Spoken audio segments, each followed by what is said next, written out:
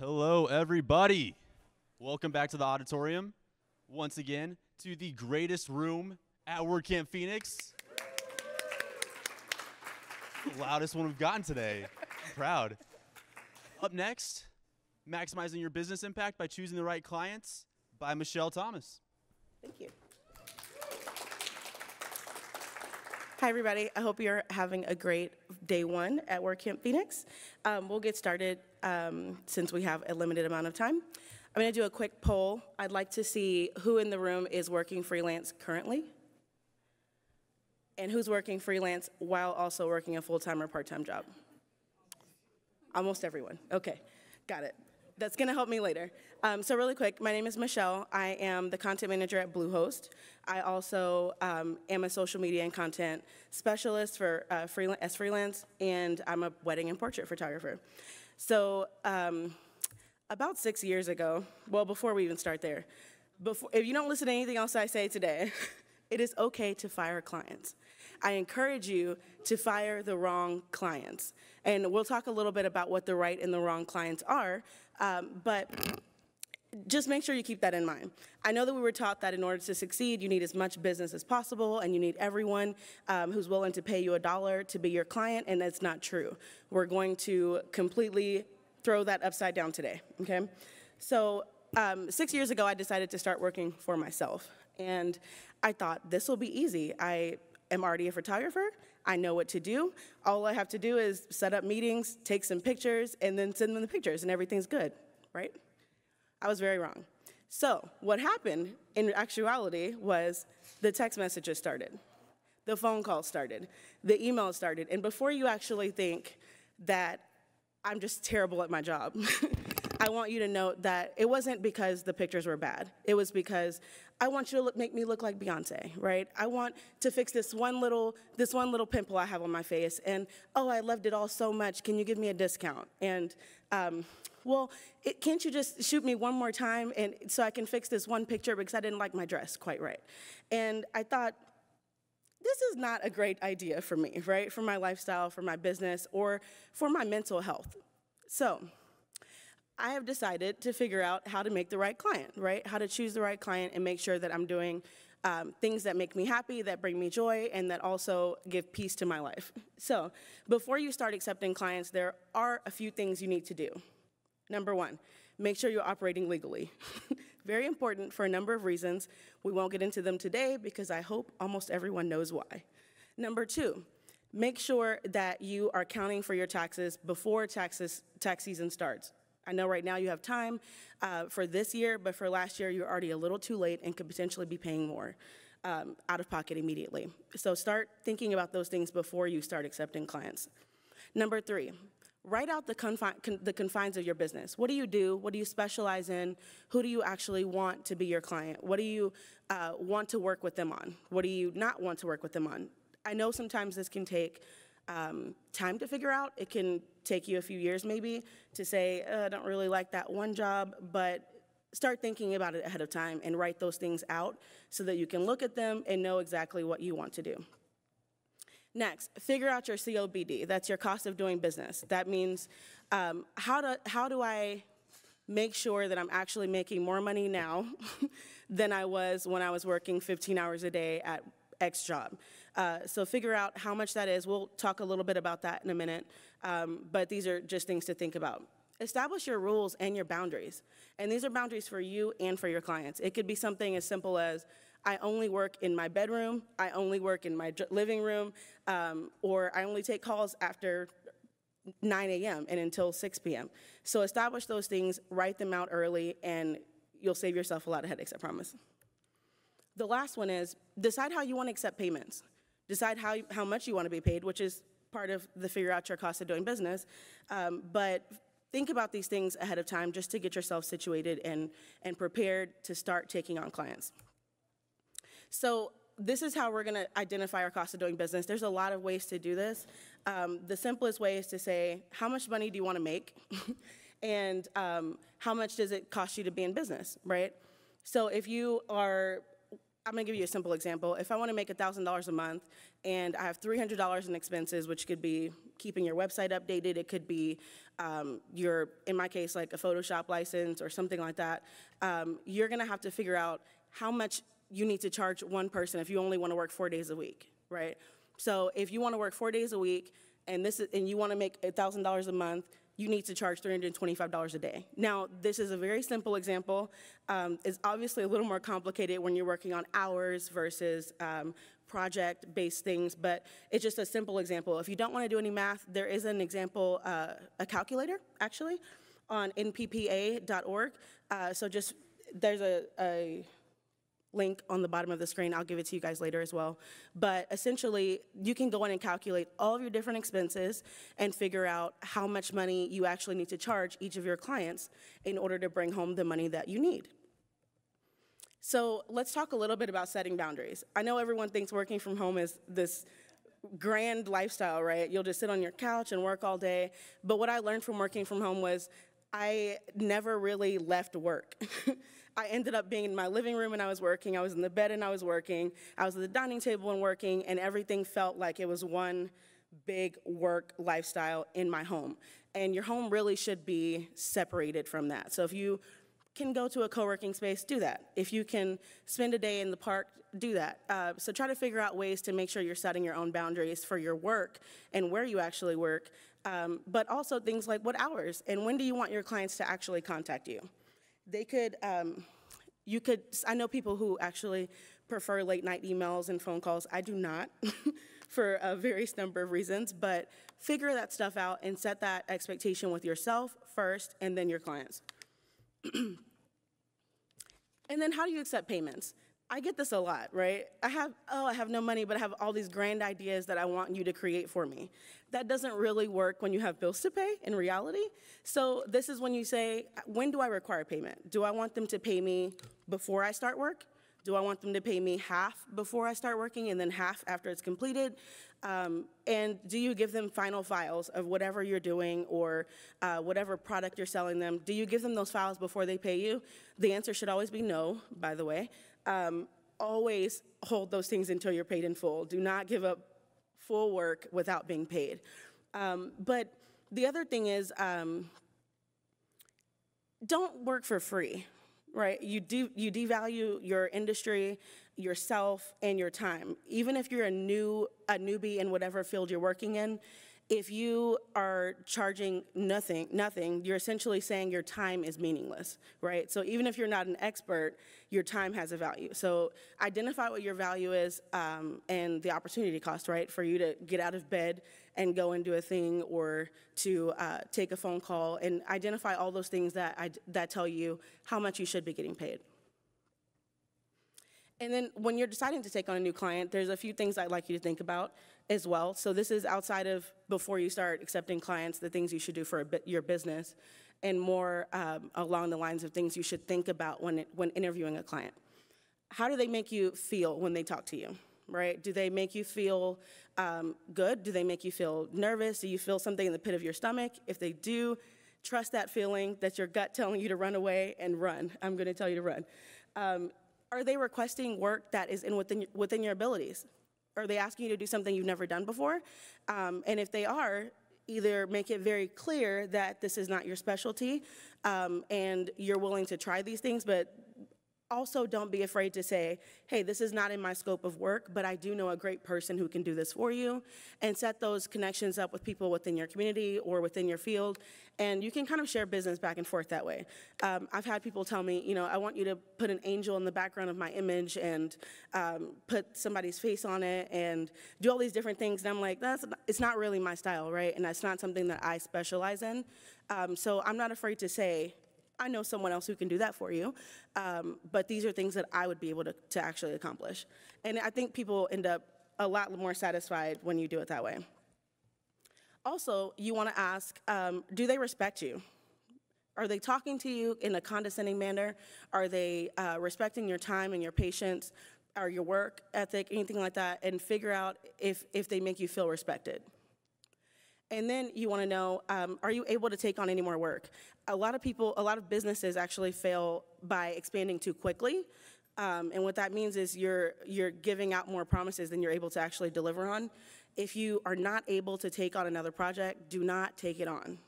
It is better for you to deny the work than to take on the work and then let them down.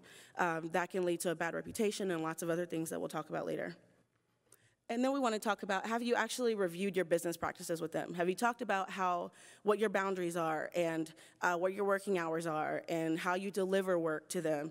Um, those things are really important for them to understand before you start working with them so that they're able to have the right expectation. Have you had an exploratory meeting? That basically means it's, it's a kickoff meeting essentially like they're they want you to do a project and you say hey what what, what is it about? Like what does it look like to you? Uh, let's talk about these things and identify then if you're able to actually deliver what they're asking for and then how do you feel about them this is again like how do they make you feel um, what is the, your, the feeling in your gut telling you does this feel like a good client or does this feel like someone who may um, end up calling you all the time or asking a lot of questions? Are they anxious? Are they highly, you know, paranoid about a lot of things? And, and identify whether you're okay with those standards or not. So I'm going to give you five commandments for work, um, for working freelance or for working with clients. Number one, do not accept clients who ask for discounts. That is telling you from the beginning they do not respect your value. Um, and if you take them on, you will only be upset. okay, do not accept clients who do not value your work. This, is, this can be something simple. In my case, I'm gonna give you an example. Um, again, I'm a wedding photographer, and I've had people who say, I don't really care about photography. My mom just wants me to have pictures of this day. Or, I don't really care if you take these certain pictures or these certain pictures, I just need somebody there. That tells me you don't really value what I've done or what uh, the industry I'm in.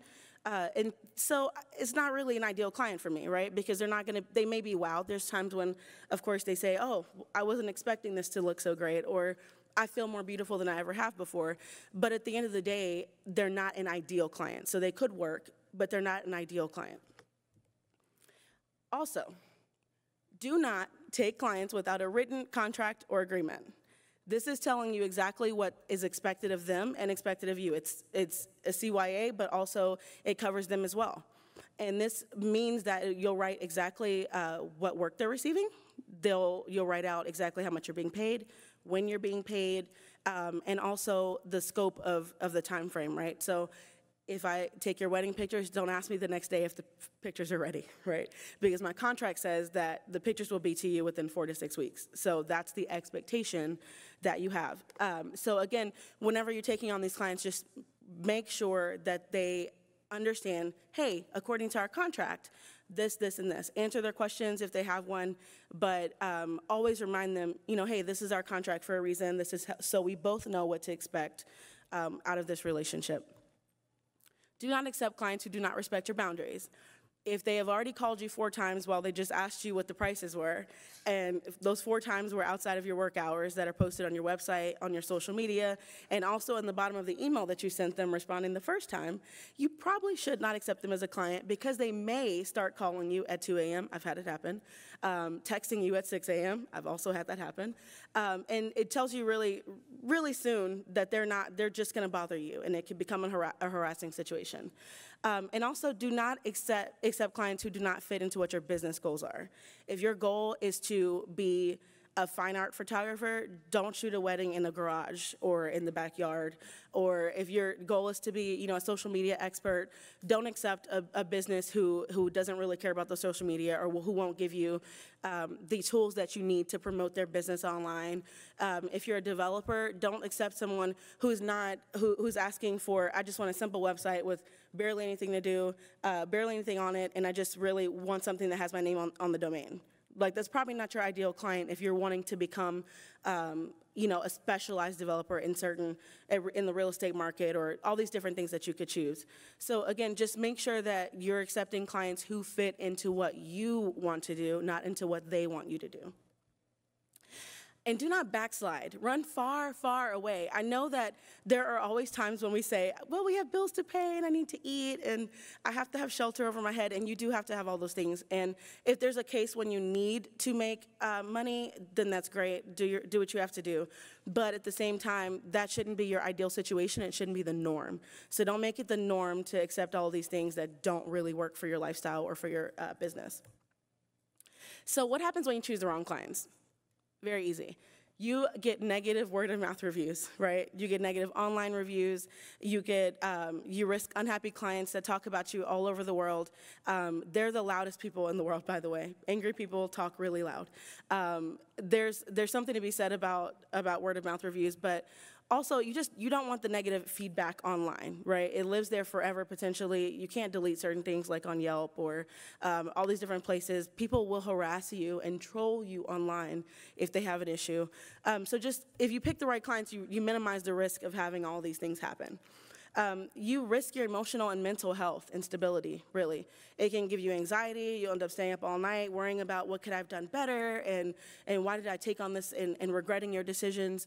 Try to avoid regret as much as possible by just making the right decision in the beginning. And there are times obviously when someone will surprise you and you'll think they were an ideal client and then something will happen and, and you'll say what was i thinking? This wasn't a, a great idea after all. Um, and that will happen and, and don't beat yourself up about it. But if you can control certain things i think just start looking for those things at the beginning instead of uh, waiting for it to happen. And then you again you risk being harassed or trolled online. So just remember all these things live forever potentially and you can't always erase them or make them go away. Um, so just try to be conscious of your decisions. So, what happens when you choose the right client? You get the same things, right? You are mentally healthy. it's the opposite of everything else. You, you get your passion for what you do gets stronger, right? Every time you get a happy customer, you want to do more. You want to do better at everything that you're doing, um, and you want to you want to continue working into in, towards whatever your goals are, right? You, uh, you have positive reviews that you can tap into at any time not just written reviews online, but if you know all of your clients are happy, you can easily say, hey, you know, I'm trying to apply for this award or I uh, want to start featuring testimonials on my website. And all of them are most likely going to be ready and available to give that to you if you need it. Um, and those word of mouth referrals will keep you in business every time. Um, at the beginning of whatever business you're starting, you will obviously have that ramp up time where you're trying to get new clients and you take on people. But once once you've done you know that legwork, people will start speaking for you. They'll start telling their friends who have similar businesses or similar problems about how amazing you are and how great the work is that you do. Um, so you just really give your, your yourself a chance to to succeed in your business. And then you actually get better at what you do, right? Not only does your passion grow, but you also get better. You just you start practicing it more and doing it more and it gets better every time and people will start noticing. And again, those all of this stuff will will cyclically happen again. It will just keep happening over and over. Okay. Slide's not moving. There we go. Okay, so actually, according to Nielsen, which is a, a research company, 92% of people trust word of mouth more than just an online review. And the reason is, of course, because reviews are bought a lot, right? And you don't really trust what you see online. Every time you see a comment on an Instagram post that says, oh, this tea really worked and my stomach is flat, you wonder if it's a referral or if it's a, an, an, affiliate or, um, and you don't really trust it, and it's true. But if your friend or your mother or your father comes and tells you, hey, I used this, this lawn guy and he was really good, and you can see the work and you can see how their life is easier because of that work, you trust it a little bit more. And it's completely fair the reason why you do. So there's some ways to promote a positive review. Undersell and overdeliver. This is something I live by all the time. If you tell me you want something uh, done and I know it takes me two weeks, I'm gonna tell you six weeks and I'm gonna give it to you in two weeks and you're gonna be like, oh my gosh, I had no idea you could get this done so fast. I wasn't expecting this for another four weeks. Um, if they say, you know, if you could just add you know, a little flower in the corner, or if you could just, you know, do one post. If you have a good client, there's nothing wrong with giving them a little extra, right? If your contract says you'll post 20 times, let them know, hey, I posted 21 times for you. Um, and I think that this extra post really worked well, right? The engagement was higher. Um, people were interested in it. And it, it's, a, it's an promise, over deliver type of thing. People will always be happy with that. Um, have a thorough kickoff meeting with them. Talk about exactly what you're going to be doing. Uh, walk them through every step of the process of what you're doing, and um, set realistic expectations. If you tell them, "This is not really what we do," or you know, I'm not really sure how this will work, but I'm willing to try it for you. Um, and then you know that you're really good at it, be really good at it. And, and don't necessarily sell that at the beginning. Let your work sell itself later um, because they're more than likely, they're more than willing to promote you or talk about you or give you a positive review after that. And then communicate, like I said, communicate through the, uh, the entire process and try to really give every client your best work, like the, the best work that you can do. And I know we're humans, and um, sometimes we can't always deliver our best. We're just, we just have days. Um, but if you can, hold on to something a little bit longer if you need to and get it done right um, the first time so that they don't have to give negative feedback or um, you know, have an issue with your work when you could have just taken an extra day or two to really simmer and sit on it. Um, so that's that's really all. I just want to make sure, see if you guys have any questions. Um, I wanted to give you some time to to process all of that. Any questions? I talked a little fast. I'm sorry. Oh, he's coming. How do you handle some of those situations where you don't realize it might not be the right client for you, like halfway through? Okay, this happened to me. I um, I'm gonna give you an example. I had a uh, someone someone sign a contract for a wedding, and we have a you know you have a right to um, fire anybody anytime. Texas is an at-will state for employers, but also in a contract you can say, you know, within so many days, if you or I do not feel like this is a good fit, we can step away from our contract. So thorough contracts are also a really good idea. Um, but in this case, I shot their engagements and I, I immediately knew this is not the right person. Um, and that's a really weird situation. It's an uncomfortable situation in most cases. Uh, but what I try to do is say, you know, hey, now that I've gotten to know your needs a little bit better, I've come to learn that um, I can't deliver what you need, or I don't know that we would be a good fit based on my abilities and your requests. Um, therefore, I have five other people that I think may work better for you, um, or five or a place for you to go and find someone else that's right for you.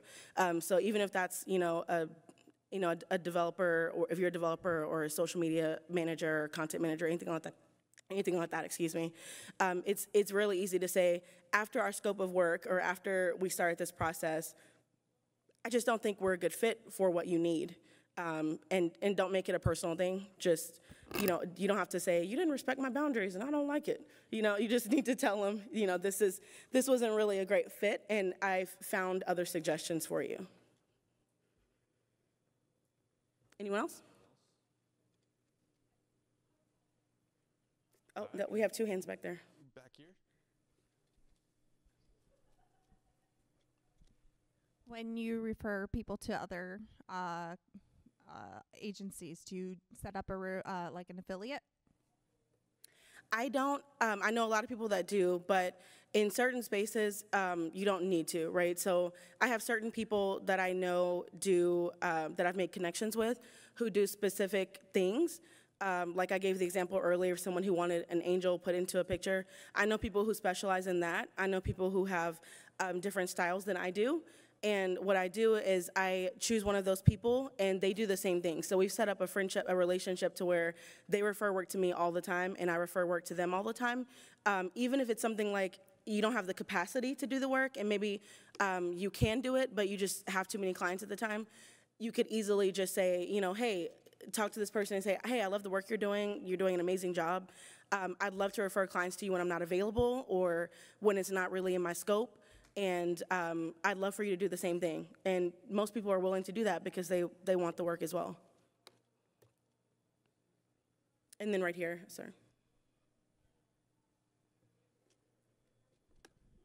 So, what do you do with payments. So you require probably half down, 50% down, and then you find out, y- you know, you said you did the um, engagement and you think, whoa, we're, this is not happening. How do you handle, do you do a refund? Do you partially figure, I mean, what's your personal kind of calculation there of, of how you deal with refunding part of a deposit or how does that work for you? Okay, so in my case, um, there, there's two different answers. When I'm doing social media or content um, strategy work or posting and things like that, um, there's a no refund no refund policy, like just in general. Um, if I've decided to step away from a contract, then um, I give them a 30-day notice to before I do that, um, which is also in my contract. For photography, it's a little different um, because generally I charge the amount of an engagement session at the time when I do the engagement session, so that is non-refundable. Um, but anything paid after that and before 30 days before the wedding will be refunded. So essentially, 30 days before the wedding, you've paid everything and there's no refunds. Does that answer the question? Okay. yes, ma'am. Anyone else? We can really talk about anything. we have time. I will say that after this, you are going to be available at the Bluehost table if anybody wants to come up for one-on-one questions. But we also have this room for another like 10 minutes if you guys want to talk. Yeah, I think we have exactly 10 minutes, so. I tried to time it right so people had time to ask if they needed to. Usually my talks go over. Sorry. I tried to do better this year. Well, let's give it up for Machielle Thomas. Thank you.